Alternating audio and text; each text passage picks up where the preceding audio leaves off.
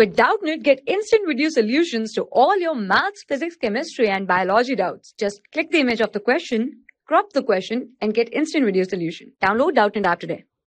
We have a question guys. In mod minus 8 minus 6 okay? So let's now for solve this question. We will try to solve this. Just wait guys. Okay. So in mod minus 8 minus 6 okay minus in mod 6 try to uh, remember this point guys. When any value in, uh, in mod means minus a will be a and plus b will be b. Means when we will remove any number from mod this will be come into the positive value okay? When we apply mod we take always positive value okay so let's come for solve this question.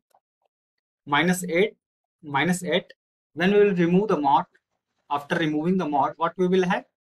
Plus 8 minus this is also in plus and this is in mod.